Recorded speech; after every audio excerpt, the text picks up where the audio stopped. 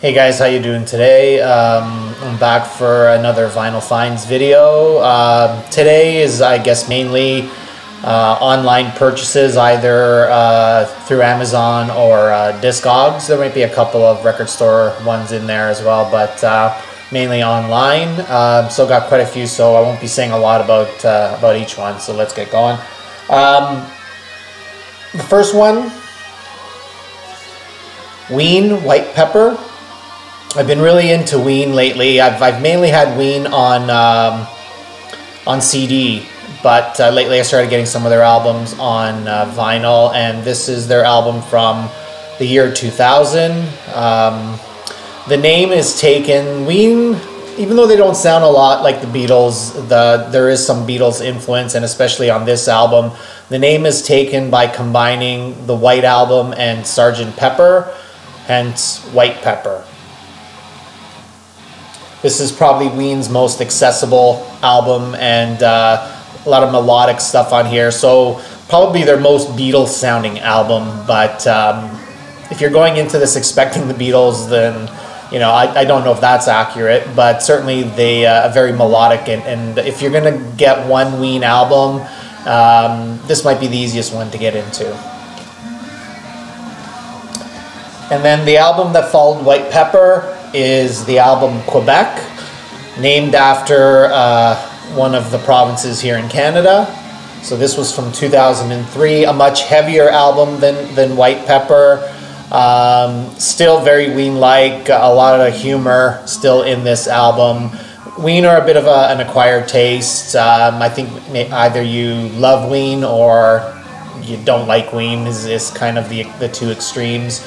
Uh, I really like them, and this is a this is a great Ween album from 2003.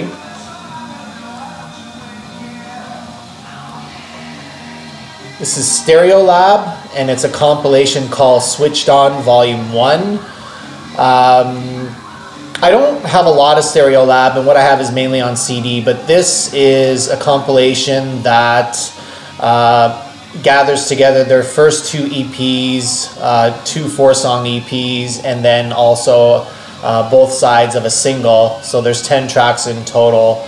Um, it's their first. Um, it, it's their first releases, so their very first two EPs and their and their first single. This this is material that was out even before um, Stereolab's first album, Peng, I think it was called.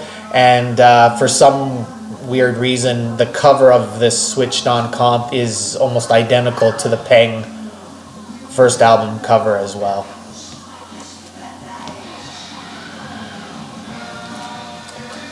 For those of you that like XTC, we have the Dukes of Stratosphear uh, and their EP 25 O'Clock. So this is a six song uh, EP by, I guess, the three uh, then members of, uh, of XTC. Um, you know, XTC, especially in the later years, I think always had sort of a psychedelic uh, tinge to their sound, but this is heavily, heavily psychedelic, as you could probably tell by the uh, the cover. Excellent stuff. We then have Rory Gallagher's band Taste, and this is a compilation called Moving On.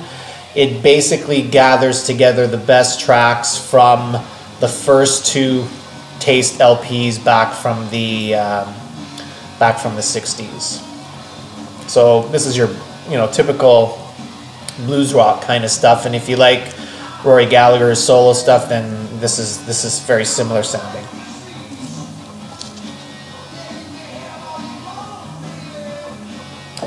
And then a blues album from I believe 1989. We have John Lee Hooker, The Healer.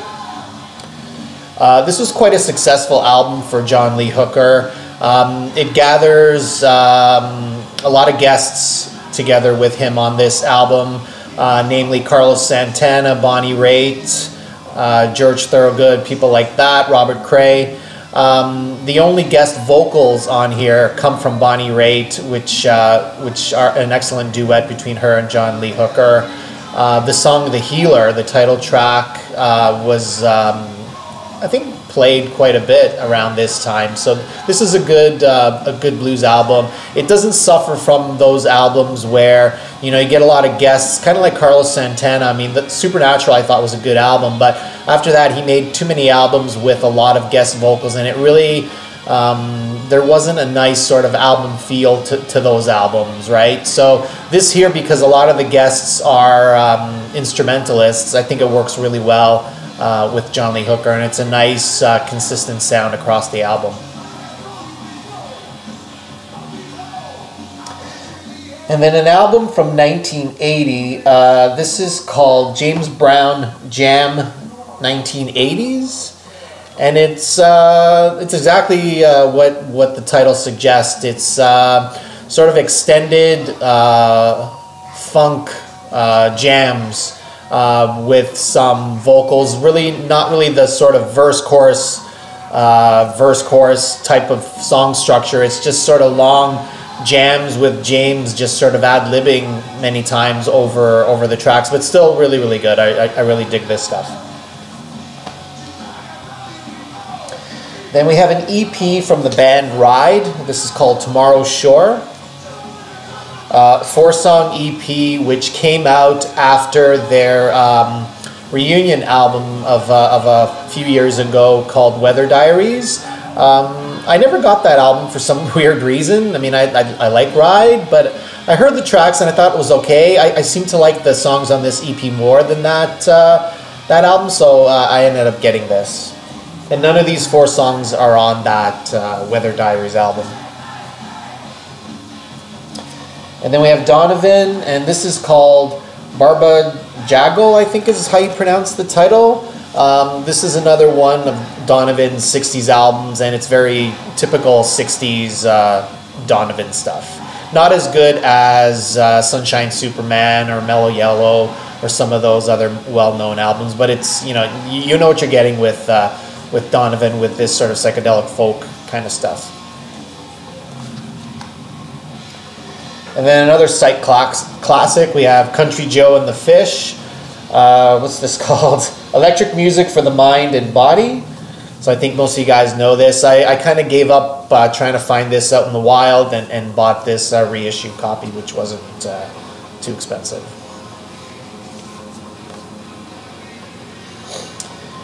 Uh, and then another psychedelic classic, we have the Pretty Things with SF Sorrow, their their concept album, and I guess this comes in sort of a, I think it's called gra- a graveyard uh, cover, sort of the shape of a tombstone or, or, or whatever.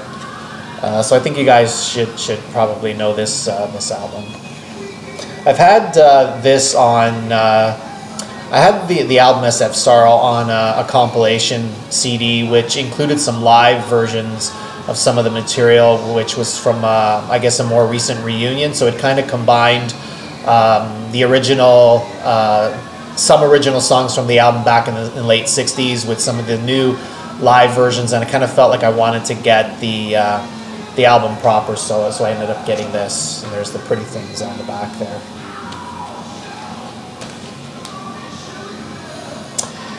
And then an album that I've actually wanted for quite a long time, we have the Bee Gees First.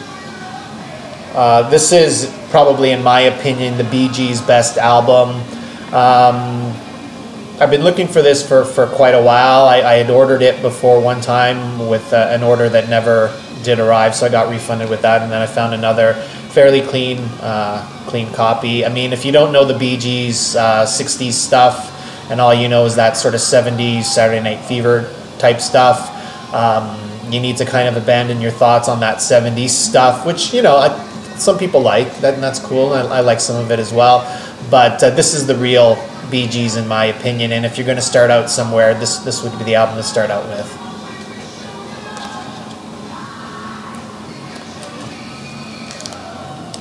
Pink Floyd, Pink Floyd Relics. Um, so this is an early Pink Floyd comp. Um, it includes some of the Syd Barrett years. Um, a lot, a lot of stuff on here with Syd. So if, if all you know is um, Piper at the Gates of Dawn, this is a, a worthy uh, acquisition to get some more of the Syd, uh, Syd stuff.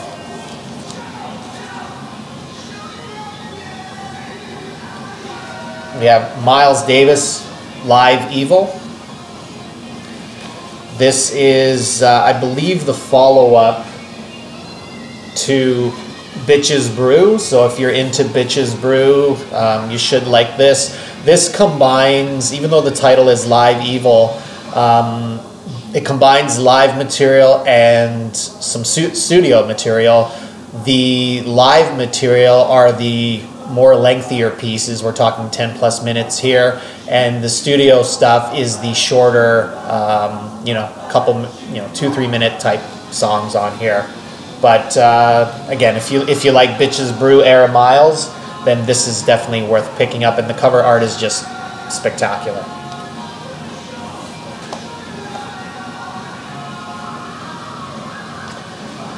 Captain Beefheart, the Spotlight Kid. So I, I did not own any Captain Beefheart uh, until several months ago. And then I started off with Safe as Milk, and I also got one of his uh, latter albums, his second last album, Doc at the Radar Station. And then I, I, um, I saw on YouTube there's some live uh, German sessions that he did that had some songs from the Spotlight Kid, and I read read up a bit on this album that this is one of Beefheart's most uh, accessible albums, I guess. Um, so you know, Trout, Trout Mask Replica I think is a classic, but is it's not the place to start for sort of newbie uh, Beefheart uh, fans. Um, the Spotlight Kid I think is a, a fairly accessible album.